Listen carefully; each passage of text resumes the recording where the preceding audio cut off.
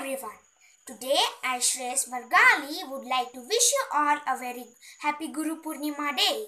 This day is marked as the day to show the highest gratitude towards our Guru or our teachers. This day has a great importance in our life as it is the birthday of the great Guru Vedavyasa. A guru or a teacher is a person who enlightens our life with knowledge and guides us towards the right path. So we must be always thankful and show our humble gratitude towards our teachers. Once again, I wish everyone a very prosperous Guru Purnima day. Thank you.